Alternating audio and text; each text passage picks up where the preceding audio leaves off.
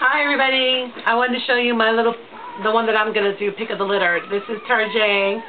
And look how cute. She's got a little fawn patch on her eye. And I wanted to show you guys that they got their tails cropped back here. So no longer long tails. Plus they also got their dew claws done, which is right here. Actually, right there you can see it. So they've already got those done. And then um, a lot of them are opening, starting to open their eyes, which is really cute. So this one, of course, she's the runt of the litter, so I'm trying to feed her. Um, but her eyes don't even look like they're starting to open. But everybody else, you can look at one of the puppies. Which one do you have in your hands, Cecily?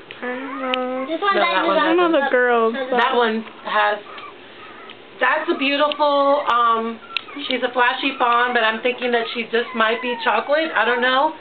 But there are mahogany boxers out there, so I'm really hoping that they keep this color because they're gorgeous. So, but yes, I just want to give you a little update on my babies because they're just beautiful and I love them. So say hi, Tarjay.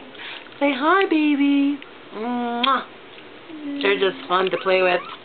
And she loves being held like this. She falls asleep in my hand every time, so. Alrighty.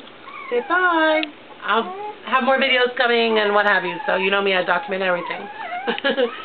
Alright, Facebook fam. See you later. Bye. Bye.